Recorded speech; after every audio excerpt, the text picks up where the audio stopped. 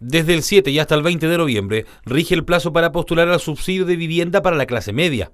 En los primeros tres días ya se registran 150 personas inscritas. Para postular hay que cumplir los siguientes requisitos.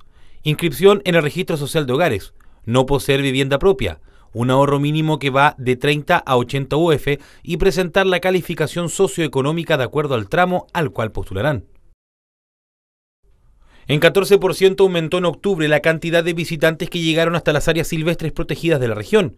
Los datos de la Corporación Nacional Forestal dice que todas las áreas protegidas tuvieron más visitantes, especialmente el Monumento Natural Los Pingüinos en la isla Magdalena, donde el aumento fue de 163%, y la Reserva Laguna Parrillar, que tuvo un 83% más de ingresos que el año pasado. En el caso del Parque Nacional Torres del Paine, octubre tuvo 23.419 visitantes, superando también el mismo mes del año pasado.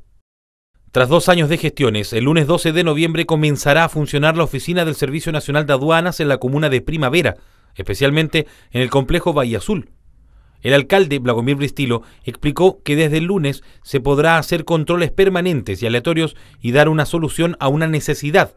Los habitantes y ganaderos de la comuna que para hacer un trámite deben trasladarse hasta la ciudad de Punta Arenas.